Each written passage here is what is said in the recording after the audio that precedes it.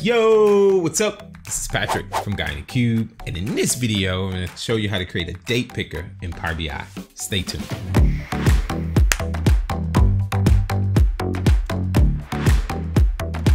All right, so a date picker. What are you talking about a date picker? Well, I got a couple of emails and some comments and some videos, and I was actually working on a project where someone asked this specific question. Hey, Patrick, I need to create an on-screen date picker where I select just a single date, not a range of dates. I don't want to scroll through a list of dates. I just want to choose one date and then it filters my entire report. So the first thing I said was use a custom visual maybe use the filter panel. Wait, wait, wait, it's too much talking. You guys know what I like to do. Instead of all this talking, let's do what? Let's head over to my laptop. What I did was, so this report, let's pretend this is a report I was working on and we had this year slice and I'm like, yep, there you go. There's your date. And they're like, no, we want like an individual date, like today or yesterday, or we want to choose a day from last year, but we can't use a relative date slice. So don't bring that thing up. I was like, okay, all right, all right.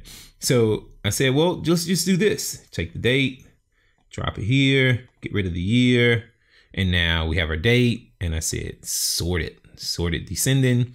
And you have your latest date right there. And now it's filtering. And then I just kind of sat there like, is that it? And they were like, who who you think's gonna sift through all those dates? I need like a little calendar to pop up and I choose a date. Why can't I do that? And I'm like, well, you don't want to use a you don't want to use a custom uh visual, so this should work. And they were like, no, Patrick. I was like, oh, oh, I got another idea. Hang on, I got another idea. All right. So I got rid of this. I said, let's remove this. And I opened up the filter panel. And I took date and I drug it on to filter for this page. Went to advance. And I said, is, I say, there you go. Right? There's a there's a date picker, click apply, and now your report filters. Was sitting there like, ha, ha, ha, yep, that's what it is. And they were like, okay, Patrick, you're not listening. You're not listening. I am not, I don't want to use the filter panel because I need it on screen. We're going to put some very specific filters there and we're going to lock them and we're going to hide the filter panel. We don't want people to have access to that. We need this date picker to be on screen. And I was like, hmm, start scratching my head and I said, okay, I got to go take a shower. That's why I do my best thinking. I gotta go take a shower. And then I had this brilliant idea. I said, oh, I got it. I got it. All right. So back on my laptop. So get rid of this filter. We're gonna get rid of that filter and close this guy. We don't need this. Then I took the date and I drug it over here. right? I said, all right, this is gonna be great. You guys are gonna love this. And then I made it a slicer. And I was so confident in myself. I made it a slicer. And if you go here and click on this little caret, you'll see there's some choices between, before, after, yada, yada, yada. The two that I was interested in was after and before, okay? So I chose after because now I have a single date. And if I expand it out, there's a date picker. And so I was excited about this. I was like, all right, so now I have a single date and I can pick it. And so I'm gonna write a measure that will filter just based on my, my selected date, right? So you guys may know where I'm going. I was excited about this. So check this out. All right, so I went back and I right click here and I created a new measure. Let's get my measure pane open. I called it single day total amount. And I was excited. And I made a variable. I said var equals selected date, selected value. Really, really, right? And I was doing this. And then I did this. Then I said return. Hang on one second. Messed that up. It's all right. I love it told me what was wrong. Return. And then I said calculate. Right. Total sales amount. Right. And then I did a little TREATAS. Right. And I like to use TREATAS because it assigns some lineage and it's kind of like propagating my filters or um, propagating my filters or like creating a virtual relationship. And I should probably do a whole video on it. But anyway, so I do this, little break brackets, and then calendar date, right?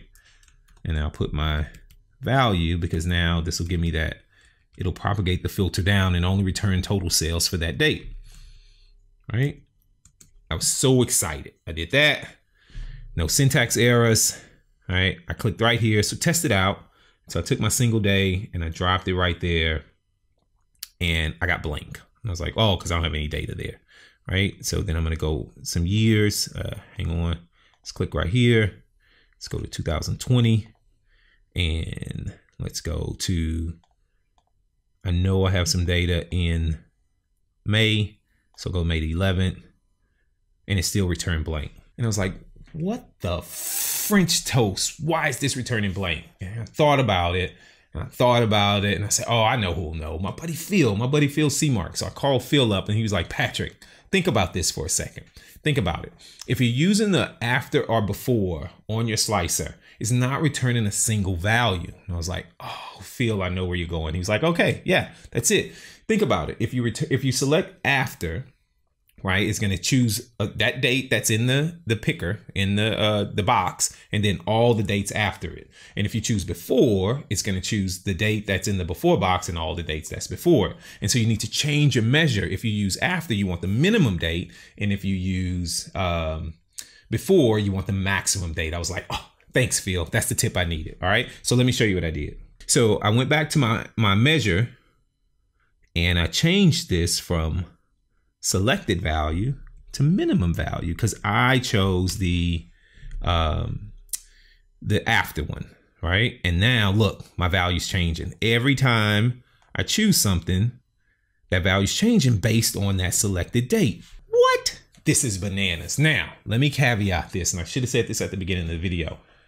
You have to do this. You have to implement this little pattern in every one of your measures, right? And so it can be a little uh, a little tedious to create all those measures, but it absolutely works. Um, if you can use the filter pane, the filter pane is a little more intuitive, but if you need an on screen one, this approach will work. So let me finish this up. Let me wrap this up and show you, uh, show you what we did. All right. So I did that. And so what I did was just to kind of make a complete solution. If you look over here in the, uh, in the fields list, I have a folder where I put all of my single day. This is what I call my single day measures and you can see the exact same uh, pattern across each one. It's the exact same measure, the exact same pattern where I'm using that minimum date because I'm using the minimum, uh, I'm using the after slicer.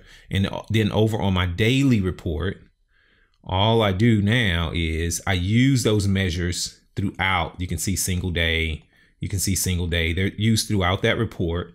And then I grab my date I drop it on here, right? I drop my date right there. And what I'm going to do is, do I still have that filter there? Yep, let me get rid of that filter. I don't want that filter there. All right, and so what I'm to do is make this a slicer. I love to do little things like this in video. I'm to make this my after. And then I'm going to format this up just a little bit. This is actually what I did for when I delivered this. And then I'm going to go here to my format option. I'm going to turn the slider off, right? Turn the slider off. And then I'm going to go to the data inputs. I'm going to increase this to like 17, right?